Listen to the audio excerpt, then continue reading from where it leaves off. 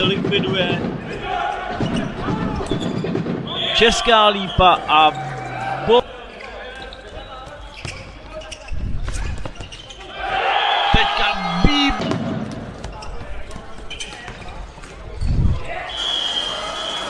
A mít opět tlaku na českolipskou bránu. A je tady vrtní situace ze slipné pozice. A krásný gol byl. Opět slaný, získal míček a je to gol! Na kadlece ten byl v souboji o míček, ale rychlý kontr Vítkovic a bohužel Vít.